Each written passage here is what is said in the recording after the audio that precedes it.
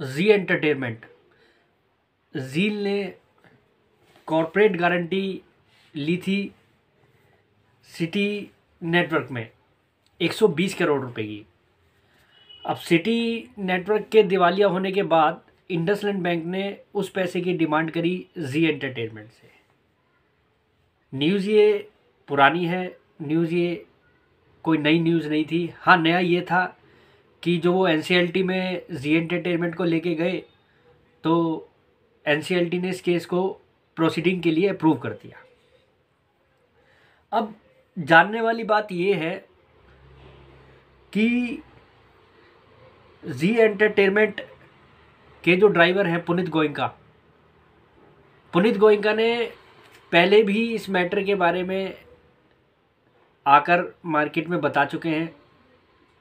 अपना जवाब भी दे चुके हैं कि वो लीगल लीज मैटर को फाइट करेंगे, क्योंकि उनके हिसाब से ये पैसा उनका देना बन नहीं रहा है।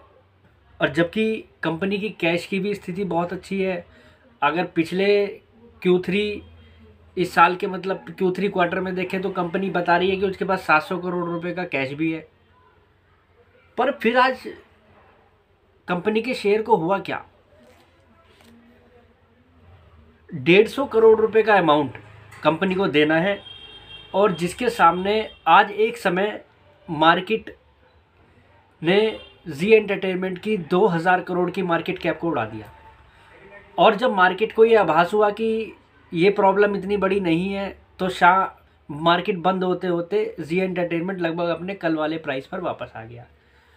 तो यहाँ पर देखने वाली ये चीज़ है कि आज जो नुकसान हुआ है, वो जी एंटरटेनमेंट में इन्वेस्ट करने वालों का हुआ है। जो वीक हैंड से उनको आज शेयर से निकाल दिया गया और शेयर इतना नीचे जाने के बाद ऊपर आकर बंद होता है तो इसका मतलब ये था कि लोगों ने उसको ख़रीदा भी है। कुछ बड़े या स्मार्ट मनी ने यहाँ पर इसके अंदर इन्वेस्ट भी किया।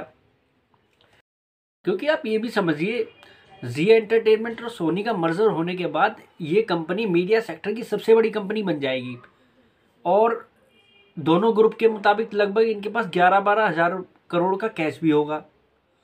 और पंद्रह हज़ार करोड़ की सेल करने वाली कंपनी बन जाएँगी और लगभग दो हज़ार करोड़ का उस पर प्रॉफिट आएगा। तो कुल मिलाकर अगर देखा जाए तो आज की गिरावट का कोई औचित्य नहीं है। शेयर में वीक हैंड को निकाला गया और जो जी एंटरटेनमेंट के यहाँ पर शेयर को लिए बैठे हैं, मैं उनसे यही कहूँगा कि शेयर को ऐसी खबरों में आकर ना बेचें, पैनिक ना लें, बल्कि जी एंटरटेनमेंट के शेयर का जो भाव चल रहा है, ये इन्वेस्ट करने का समय है। यहाँ से जी एंटरटेनमेंट आपको 40-50 परसेंट का रिटर्न बड़े आराम से देगा और कंपनी बड़ी कंफर्टेबल स्थिति में है। सेल्स कंपनी की अच्छी है, मर्जर होने के बाद एक नया रुख मिल जाएगा। कंपनी को प्रॉफिटेबल कंपनी है, कर्ज कुछ नहीं है कंपनी के ऊपर। कंपनी को चलाने वाले जो ड्राइवर हैं गोइंका वो भी अच्छा है। मतलब फिर ये नहीं समझ में आता कि ऐसे बिजनेसों में दिक्कत क्या है जो इतनी बड़ी सेलिंग आई, एक खबर पे लोगों के शेयर को निकलवा दिया गया डीमेट से। तो आप भी थोड़ा सा इस चीज़ को अध्ययन कीजिए और मेरे हिसाब से पैनिक सेलिंग से बचिए। और ख़ासकर ऐसी कंपनियों में तो खासकर जहाँ पर सब कुछ ही अच्छा दिखाई दे रहा हो और अगर कुछ बुरा था भी तो वो पीछे जा चुका है। और इन खबरों से मर्ज़र पर कोई अंतर नहीं, फ़र्क नहीं पड़ेगा। ये मर्ज़र एक महीने बाद हो जाएगा, दो महीने बाद हो जाएगा, ज़्यादा से ज़्यादा इतना